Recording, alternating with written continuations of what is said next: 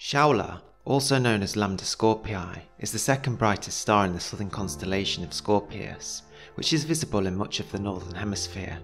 Like many of the bright stars close to Earth, Shaula is actually more than one star. Astronomers have confirmed it's made up of two stars, and there could be a third one given that the star system is producing more X-rays than expected. The star's name in Arabic means the stinger, and indeed it forms the end of the hook-shaped stinger in the zodiac constellation. Hi everyone, Vega here, and in today's video we take a visit to the Scorpius constellation and one of its most intriguing and beautiful sights, Shaula. So let's get to it. It's no secret that Alpha Scorpii, or Antares, tends to steal most of the limelight for itself. That said, Shaula is actually the 23rd brightest star in our skies, so it's perfectly capable of holding its own on this channel. Indeed, it's classified as a bright blue star with a classification of B1.54. The star varies and changes in luminosity. This is due to strange subsurface valves making their way to the surface. Noted in the catalogue of Johann Bayer, and despite its brightness, Shaula was assigned the 11th letter of the Greek alphabet, lambda, rather than the usual alpha, which as I mentioned is assigned to Antares, or indeed even beta, assigned to Acrab for the brighter stars. Some have supposed that this is probably because the star is so far south in the constellation, it is possible to view Shaula as far north as the United Kingdom, but it's best viewed from the southern United States. Indeed, its proper motion through the sky means that over the coming millennia, it will fade even further from the northern hemisphere altogether. Antares may be the more famous Scorpion, but this subgiant B-class star is about 35,000 times more luminous than the Sun, and its temperature is estimated at 25,000 Kelvin. Indeed, it's thought Shaula is either right at the point of stopping hydrogen fusion in its core, or is very close to doing so, which means it's about to go big time. With a mass of around 11 solar masses, it could explode in a supernova, or slightly more likely turn into a heavy white dwarf, possibly one with a neon oxygen core. Shaula is therefore a star on the edge in many ways, as I'm sure you can appreciate. Estimates vary for its distance. The Hipparcos satellite gave 700 light years, whereas more recent observations give only half that at 365 light years. So, up to now, you might wonder why I've decided to dedicate an entire video to this interesting, but not necessarily outstanding star. We have other large stars in our vicinity, of course, Acrux, Rigel, and indeed Antares itself. So why Vega? Why have you chose to tell us about this particular star? Well, firstly, astronomers believe that Shaula is made up of two stars. The principal, Shaula AA, is a B-class star, with Shaula B orbiting around 6 astronomical units away. Shaula B is also a large blue star, believed to be about 5,000 times more luminous than the Sun, with a temperature of around 21,000 Kelvin. So a very very powerful star in its own right, and it would no doubt dwarf any of our local neighbours.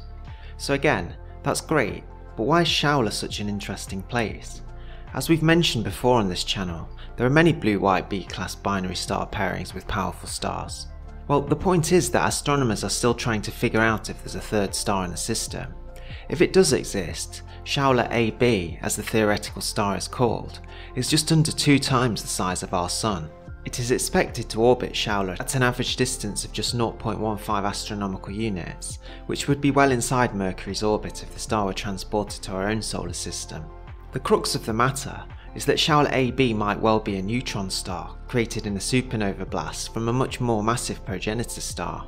This is indeed very interesting, and there may be a possibility that one day Shaula may turn into what's known as a Thorne-Zytkow object. These objects are formed when a neutron star collides with a larger star, typically a supergiant, which swallows it entirely. As the neutron star slowly makes its way through the giant's interior, it spins ever closer to the star's core. Once it collides and merges with the core, perhaps after hundreds of years, the star's life typically ends with a black hole, although in Shaula's case, a neutron star would likely be formed, born from the mass of both stars that preceded it. A second possibility, instead of a neutron star, could be a very massive white dwarf that is the result of a mass transfer, or which seems most likely, a star which is still in the act of forming, or what's known as a T Tauri star.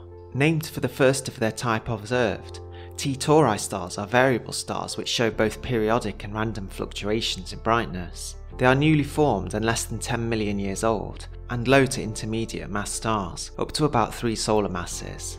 Their central temperatures are still too low for nuclear fusion to have started, You might think of them a bit like a car that's been manufactured, but the engine has yet to be tested. Of course, if Shaula A does explode as a supernova, as many astronomers expect, then it could likely destroy this much smaller star, if it is indeed a T Tauri star when it does so. So, let's go through this again. Shaula, a massive B-class star, is a star right at the point of death. It's surrounded by an unknown entity that could well be a neutron star.